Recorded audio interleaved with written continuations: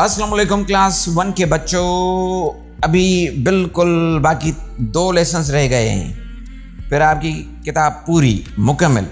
अब ये यूनिट है फोर्टीन तीन का मैंने ज़िक्र पहले ही किया था थर्टीन में। वो यूनिट नहीं देखा है तो वो देख लें प्लीज़ कोई यूनिट छोड़ना नहीं। इस सीक्वेंस में चलना। अब ये जैसे ही किताब पूरी हो जाएगी तो फिर मैं इंग्लिश और उर्दू में मीनिंग आपको सिखाऊँगा। ठीक है? The rain.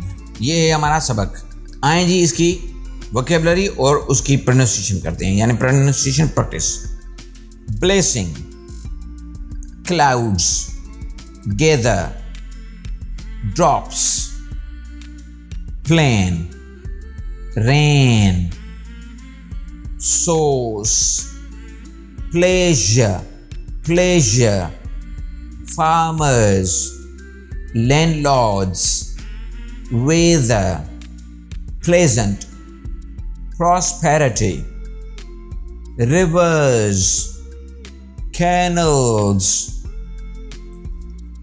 sometimes अच्छा बच्चों यहाँ पे सम और टाइम्स सेपरेट लिखा हुआ है ये एक ही वर्ड है समटाइम्स इकट्ठे करके इस वर्ड को लिखें जिस तरह मैंने लिखा है समटाइम्स ये सेपरेट वर्ड इसको नहीं लिखा जाता। हाँ सेपरेट जब होगा तो मीनिंग कुछ और होगी sometimes heavy rainfall spoils system causes floods destroys buildings, transport, communication, generally, Welcomed. तो बच्चों, ये था यूनिट कौन सा यूनिट था? फोर्टीन हाँ यूनिट फोर्टीन जिसकी वर्ड और प्रैक्टिस की हमने प्रोनाउंसिएशन की। अगर समझ में आ गया तो ठीक है, वरना इसी यूनिट को दोबारा देखें, दोबारा सुने और समझने की कोशिश करें। और किताब, अभी दो यूनिट बाकी हैं, फिर किताब ख़त्म हो जाएगी।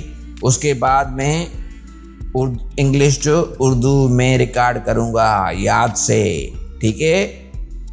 वीडियो अच्छी लगी है तो लाइक कर लें। पेरेंट्स को रिक्वेस्ट है कि हमारे तसल्ली और हमारे गाइडेंस के लिए, रहनमाई के लिए भी अपने बच्चों की खातिर ही सही कमेंट्स करें प्लीज़ और जी, बच्चों, अगर चैनल को सब्सक्राइब नहीं किया है तो सब्सक्राइब कर लें।